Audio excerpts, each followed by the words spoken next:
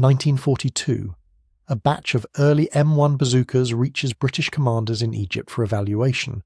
They arrange a demonstration against a captured Panzer III. The rocket hits, it penetrates, the weapon works, and the British say no thank you. This was not arrogance. This was not bureaucratic stubbornness. The British had already begun production of something different, something that looked crude, felt brutal, and operated on principles the Americans had rejected. The Piat weighed nearly twice as much as the bazooka. It required enormous physical strength just to cock. Soldiers cursed it, struggled with it, and in some cases physically could not operate it. But it could do something the bazooka never could. It could fire from inside a building without killing everyone behind the operator. In the hedgerow fighting of Normandy, the rubble of Italian towns, and the desperate house to house combat at Arnhem, that single advantage proved decisive. According to British Army analysis of the initial Overlord period, Piat teams destroyed 7% of all German tanks knocked out by British forces. That figure exceeded the kill rate of RAF rocket firing Typhoons. A weapon that looked like a plumber's nightmare outperformed aircraft. The problem both weapons tried to solve was simple to state and terrifying to face. German armour had outpaced infantry anti tank weapons.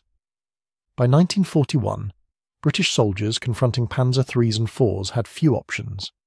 The Boys anti tank rifle, firing a .55 caliber round, could penetrate 21 millimeters of armor at 300 yards. German tanks now carried 30 to 50 millimeters of frontal protection, often sloped. The Boys was obsolete before the war properly began.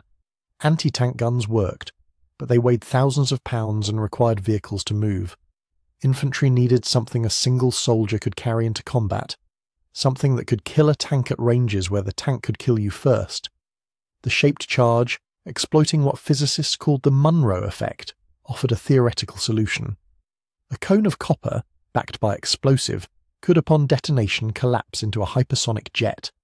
This jet could punch through armour far thicker than any kinetic projectile of equivalent size. The challenge was delivering that shaped charge to the target. The Americans chose rockets, the Germans chose rockets, the British chose a spring, Lieutenant Colonel Latham Valentine Stewart Blacker was not a conventional weapons designer.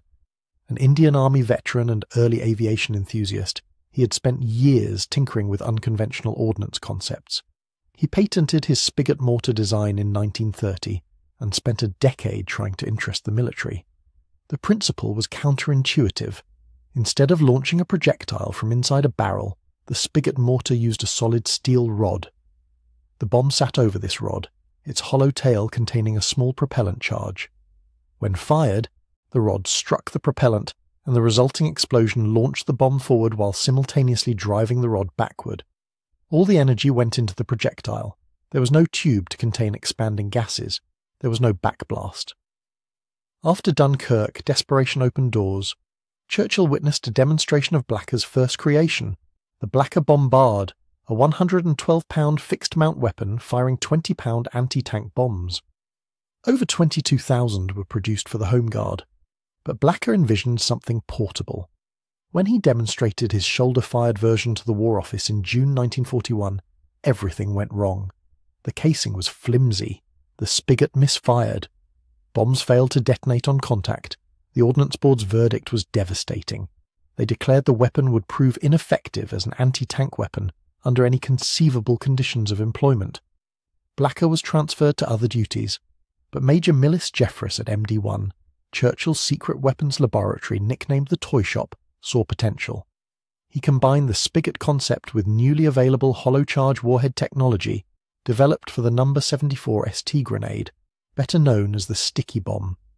By early 1942, the Jefferis shoulder gun was impressing the same officials who had rejected Blacker's prototype.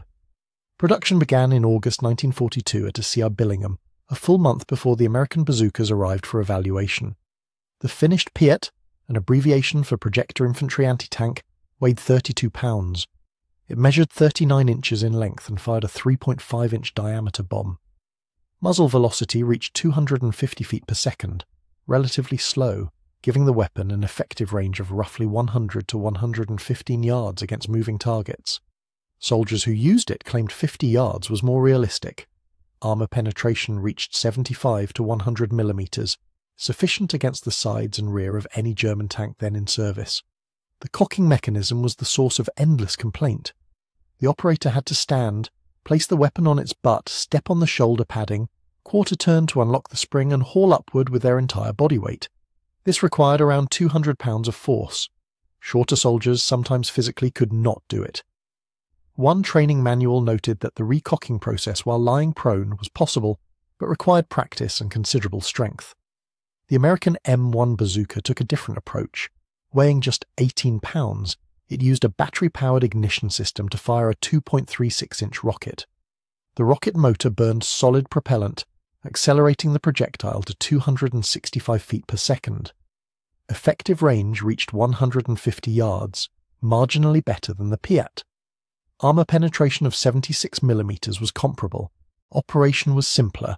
A two man team could fire and reload rapidly, but every advantage came with a cost. When that rocket motor ignited, propellant gases screamed out the rear of the tube, creating a danger zone of 15 metres behind the operator. The distinctive whoosh and smoke trail immediately revealed the shooter's position. Anyone standing behind the weapon risked severe burns or death. On dry ground, the backblast kicked up dust clouds visible for hundreds of yards. In enclosed spaces, firing was suicidal. The Piat had no such limitation. The infantry school at Hythe ran Piat training courses until 1959, specifically noting that the weapon could be fired from indoors if need be. Over 200 Piat units were airdropped to the French resistance specifically because operatives could fire them from inside buildings, attack German vehicles, and disappear before the enemy located their position. At Arnhem, British paratrooper records noted that Piat teams proved difficult to locate in built up areas. The weapon's report was a dull thud rather than the bazooka's screaming whoosh. The Piat's combat debut came in early 1943 during the Tunisia campaign, Canadian forces used Piat units extensively during the Sicily invasion in July 1943, though early reports complained of misfires and unreliable fuses that sometimes failed to detonate unless striking armour squarely. Now, before we get into the Victoria Cross actions, if you are finding this useful, subscribing to the channel genuinely helps. It takes a second, costs nothing, and supports more deep dives like this one. Right, back to the Piat. By 1944, the weapon had proven itself repeatedly. A Canadian Army survey questioning 161 officers recently returned from combat ranked the Piat as the number one most outstandingly effective infantry weapon, placing it ahead of the legendary Bren gun. Six Victoria Crosses were awarded for actions involving Piat weapons, more than any other infantry anti tank system of the war. Fusilier Francis Jefferson earned his at Monte Cassino in May 1944. When the first Piat team was killed, the 23 year old seized the weapon, ran forward under direct fire, and engaged a German tank at close range. The vehicle burst into flames. At that distance, missing meant death. He did not miss. Major Robert Cain became the only Arnhem Victoria Cross recipient to survive the battle. Over six days of combat, he disabled or forced off multiple armoured vehicles using Piat weapons. Later accounts credited him with even higher totals. On September 20th, 1944, a Piat bomb detonated prematurely in his face, temporarily blinding him. While being dragged to safety, witnesses reported him screaming for someone to grab the Piat. His sight returned after 30 minutes. He refused evacuation. Both eardrums burst from constant firing. He stuffed field dressings in his ears and continued fighting. Private Ernest Smoky Smith earned his Victoria Cross at the Savio River in Italy in October 1944. Leading a Piat team across open ground under fire from three Panthers, two self propelled guns, and 30 infantry, Smith engaged the lead Panther at 30 feet and destroyed it. When 10 German infantry charged him with Schmeissers, he killed four with his Thompson submachine gun and drove back the rest while protecting his wounded comrade.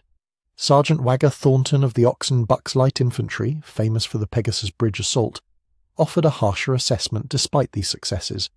He called the Piat a load of rubbish, claiming the realistic range was around 50 yards and no more. He added a critical warning you must never miss. If you do, you have had it, because by the time you reload the thing and cock it, which is a bloody chore on its own, everything is gone, you are done. The recoil was legendary, One soldier in Italy shot at a panther while standing and was completely knocked over despite scoring a hit. The 12 pound spigot lurching forward a tenth of a second before firing made accurate aiming difficult. Soldiers learned to brace themselves, to fire from prone positions whenever possible, and to accept that operating the weapon was a physical ordeal. The bazooka's combat record proved more troubled. The M1 first saw action during Operation Torch in November 1942, but training had been rushed and results were poor. An American general visiting Tunisia afterward could not find any soldiers who could report that the weapon had actually stopped an enemy tank. By May 1943, further M1 bazooka issue was suspended due to the unreliable M6 rocket. The battery powered ignition system created constant problems. In humid conditions, the contacts corroded. In salt air, they failed. In cold weather, the rocket propellant did not fully burn inside the tube, extending past the muzzle and increasing danger to the operator. Bazooka operators faced high risk at the close ranges the weapon required. The backblast revealed their position immediately, and reloading under fire was difficult. General Patton himself was blunt about the weapon's limitations. He stated that the purpose of the bazooka is not to hunt tanks offensively, but to be used as a last resort, he recommended the range should be held to around 30 yards. At that distance, against a moving tank, survival was unlikely regardless of whether you hit or missed. Both weapons struggled against heavy German armour. By 1943, Germany had deployed Schürzen, armoured side skirts originally introduced to counter anti tank rifles. These skirts also provided some protection against hollow charge weapons by creating standoff distance and sometimes causing premature detonation. A 1943 US intelligence bulletin confirmed the 2.36 inch bazooka shaped charge could not penetrate Tiger frontal armour. The Piat faced identical problems. Both weapons required flanking shots against heavy armour, dangerous work at close engagement ranges. The Germans captured and studied bazookas in Tunisia and quickly recognized the concept's value. By late 1943, they had fielded the Panzerschreck, essentially a scaled up bazooka with an 88mm warhead, capable of penetrating around 160mm of armor superior to the American original. American intelligence called the Panzer Panzerschreck clumsier than the bazooka and reputedly less accurate. But its hitting power was undeniable, and American troops who encountered captured German anti tank weapons sometimes preferred them to their issued bazookas. Korea exposed the bazooka's inadequacy definitively. At the Battle of Osan on July 5, 1950, Second Lieutenant Ollie Connor maneuvered to close range behind a T 34 85 tank, targeting its weakest armor and fired 22 bazooka rockets with little effect. The urgent development of the M20 Super Bazooka, a 3.5 inch design, was the direct result. The spigot mortar concept died with the Piat. No successor was developed. The design was too heavy, too complex, and too limited in range to justify continuation. The Piat served through the Korean War before retirement in the early 1950s, when the British Army adopted the American M20 Super Bazooka as its replacement. The bazooka's lineage, by contrast, runs directly to modern weapons. Germany's Panzerschreck, essentially a scaled up copy of the captured American design, influenced post war development. Soviet designers combined bazooka reloadability with Panzerfaust warhead concepts to create the RPG 2 in 1949 and eventually the RPG 7 in 1961, the most widely used anti tank weapon in history. The M72, LAW, AT4, NLAW, and Javelin all trace their ancestry to the shoulder fired shaped charge concept the bazooka pioneered. Britain's decision was not about national pride. The timeline reveals pragmatic calculation. The Piat was already in production when bazookas arrived for evaluation. British manufacturing capacity was committed. More importantly, British tactical doctrine anticipated the urban combat, defensive positions, and concealment requirements, where the Piat excelled. For fighting in buildings, from trenches, and in close terrain, zero backblast was not merely an advantage, it was survival. The numbers validate the choice. 7% of German tanks destroyed by British forces in the critical early Overlord period fell to Piat teams, six Victoria Crosses, over 115,000 units produced, a Canadian Army survey naming it the most effective infantry weapon of the war. Against these results, the bazooka offered lighter weight and easier operation, meaningful advantages that did not outweigh the Piat's tactical flexibility in British hands. The Piat was an evolutionary dead end. The bazooka was an ancestor, but in the brutal fighting of 1943 to 1945, the weapon that mattered was the one that worked when you needed it. For British soldiers fighting in the hedgerows of Normandy and the ruins of Arnhem, that weapon was the crude, heavy, shoulder bruising Piat.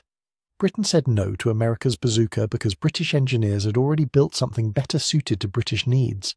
The combat record proved them right.